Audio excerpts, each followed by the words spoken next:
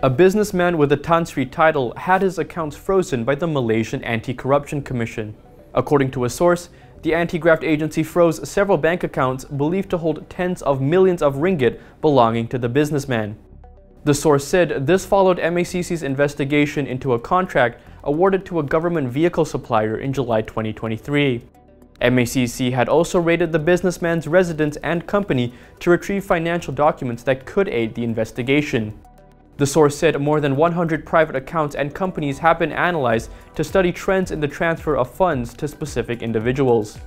MACC has recorded the statements of several key witnesses, including staff from the government agencies and companies involved in securing contracts to supply and manage the government's fleet of vehicles.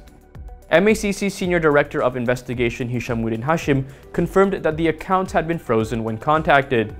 He said the case is being investigated under Section 17 of the MACC Act for giving or accepting gratification. Danish Rajariza, FMT News.